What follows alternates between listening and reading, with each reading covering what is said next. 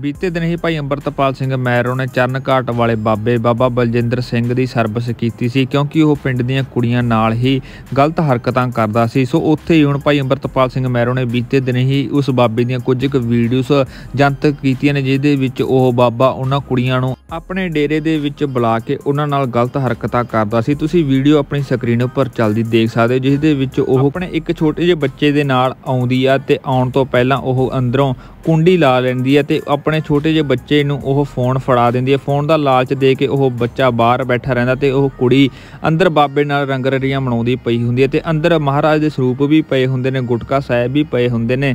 ਅੰਦਰ ਪਏ ਮਹਾਰਾਜ ਦੇ ਸਰੂਪਾਂ ਦਾ ਇਹਨਾਂ ਨੂੰ ਕੋਈ ਖਿਆਲ ਨਹੀਂ ਹੁੰਦਾ, ਇਹ ਆਪਣਾ ਕੰਮ ਕਰਦਾ ਰਿਹਾ, ਇਹ ਬਾਬਾ। ਤੁਸੀਂ ਫਿਰ ਬਾਅਦ ਦੇ ਵਿੱਚ ਵੀ ਦੇਖ ਸਕਦੇ ਹੋ ਕਿ ਇਹ ਬਾਬਾ ਬਿਨ ਕੱਪੜਿਆਂ ਤੋਂ ਵੀ ਬਾਹਰ ਆਉਂਦਾ ਪਿਆ ਤੇ ਉਸ ਕੁੜੀ ਨਾਲ ਗਲਤ ਹਰਕਤਾਂ ਕਰਦਾ ਪਿਆ ਹੈਗਾ ਉਸ ਬੱਚੇ ਦੇ ਸਾਹਮਣੇ ਹੀ ਇੱਕ ਦੂਜੇ ਦੇ ਮੂੰਹ ਦੇ ਵਿੱਚ ਮਠਿਆਈਆਂ ਵੀ ਪਾਉਂਦੇ ਪਏ ਨੇ। ਨਾਲ ਦੀ ਨਾਲ ਆਪਾਂ ਤੁਹਾਨੂੰ ਦੱਸ ਦਈਏ ਕਿ ਇਹ ਕੁੜੀ ਰੋਜ਼ ਦੀ ਰੋਜ਼ ਬਾਬੇ ਨੂੰ ਮਿਲਣ ਆਉਂਦੀ ਸੀ। ਤੁਸੀਂ ਹੋਰ ਵੀ ਕਲਿੱਪ ਆਪਣੀ ਸਕਰੀਨ ਉੱਪਰ ਚੱਲਦੀ ਦੇ ਸਕਦੇ ਜਿਸ ਦੇ ਵਿੱਚ ਇਸ ਕੁੜੀ ਦੇ ਹੁਣ ਵੱਖ ਕਲਰ ਦਾ ਸੂਟ ਪਾਇਆ ਹੈਗਾ ਤੇ ਉਸੇ ਤਰ੍ਹਾਂ ਇਸ ਕੁੜੀ ਨੇ ਅੰਦਰ ਆਉਣ ਤੋਂ ਬਾਅਦ ਫਿਰ ਕੁੰਡੀ ਲਾ ਲੈਂਦੀ ਹੈ ਤੇ ਨਾਲ ਦੀ ਨਾਲ ਉਸ ਬੱਚੇ ਨੂੰ ਫੋਨ ਜਾਂ ਕੋਈ ਚੀਜ਼ ਫੜਾ ਦਿੰਦੀ ਸੀ, ਜਿਸ ਨਾਲ ਉਹ ਬਾਹਰ ਖੇਡਦਾ ਰਹਿੰਦਾ ਸੀ ਤੇ ਇਹ ਅੰਦਰ ਲੱਗੇ ਰਹਿੰਦੇ ਸੀਗੇ।